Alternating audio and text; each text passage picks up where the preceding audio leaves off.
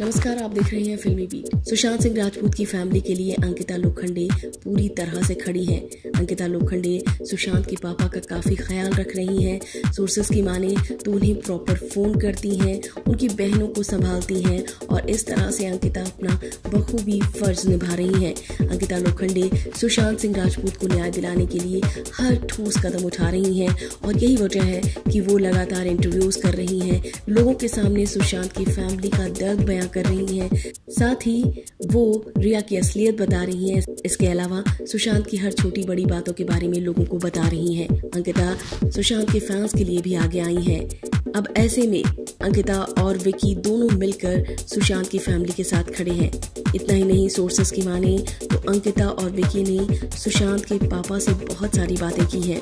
माना जा रहा है कि अंकिता ने बहुत सारी बातें उनके पापा से की हैं, जिसमें किस तरह से जाँच करवानी चाहिए और क्या क्या हो सकता है इस केस में, हमें कैसे इसे हैंडल करना चाहिए। इस पूरे मामले में अंकिता ने सुशांत की फैमिली से बात की है। उनके साथ विक्की भी हर कदम पर खड़े हैं। अंकिता किसी भी हालत में सुशांत के साथ न्याय चाहती हैं और इसके लिए वो सुशांत के पापा और बहनों के साथ पूरी तरह से खड़ी है।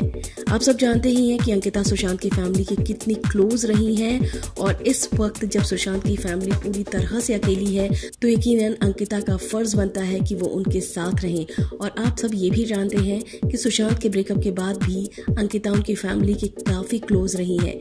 भले ही सुशांत से उनका ब्रेकअप हो गया था, लेकिन फिर भी उनकी फैमिली हमेशा ही अंकिता को फ़ोन करती थी।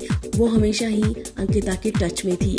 ऐसे में अंकिता भी पूरी तरह से इस फैमिली के लिए तैयार है और यही वजह है कि अभी सब कुछ भूलकर अंकिता सिर्फ़ और सिर्फ़ सुशांत पर ध्यान दे रही है। सुशांत को न्याय दिलवाने पर ध्यान दे रही है। इस वक्त उनकी फैमिली को अंकिता की बेहद ज़रूरत है तो वहीं पर अंकिता भी अपने आप को समझा रही है। फ़िलहाल, सुशांत की फैमिली के साथ अंकिता ने बहुत सारी बातें की हैं और जिस तरह से ये केस उलझता जा रहा है उस स्थिति में और क्या कुछ करना चाहिए? इस बारे में भी अंकिता ने बहुत सारी बातें की हैं।